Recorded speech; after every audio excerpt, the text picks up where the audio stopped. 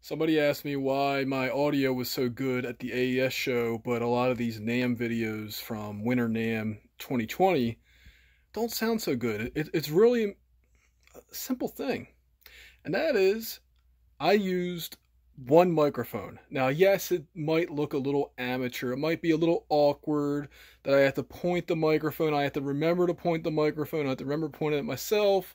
So there's gaps in this in the speech.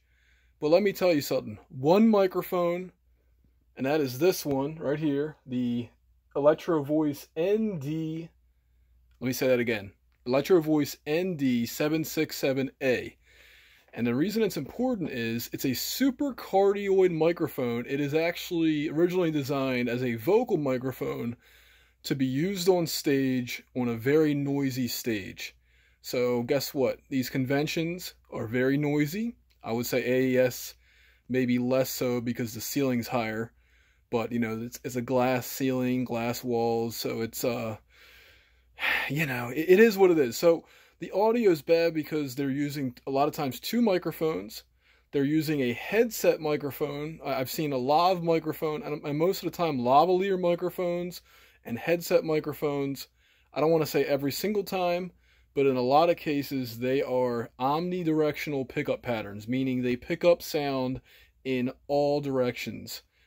At least a lot more so than this, which again is a super cardioid pickup pattern, and where you point it is where you get the audio. Now, again, the problem is where, wherever you're not, if you forget to point it at the person's mouth, you can't hear them.